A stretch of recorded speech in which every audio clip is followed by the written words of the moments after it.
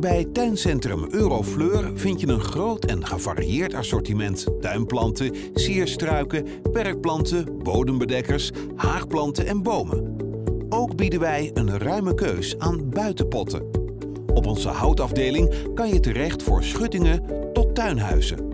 Ook voor de vijver of een waterornament bent u bij ons aan het juiste adres.